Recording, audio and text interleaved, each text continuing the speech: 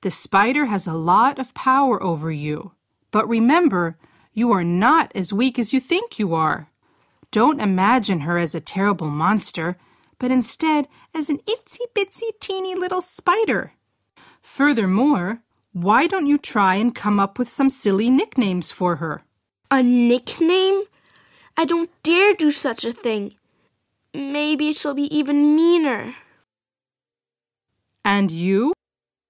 Um, well, of, of, of course I can do it.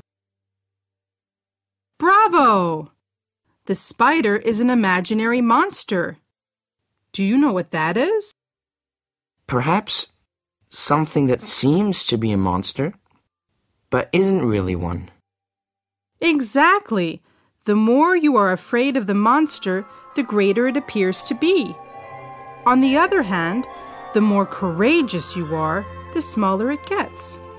What nicknames can you come up with that would suit her? I have one. Itsy Bitsy. Itsy Bitsy. Great!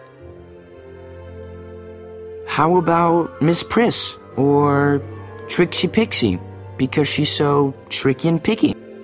Superb!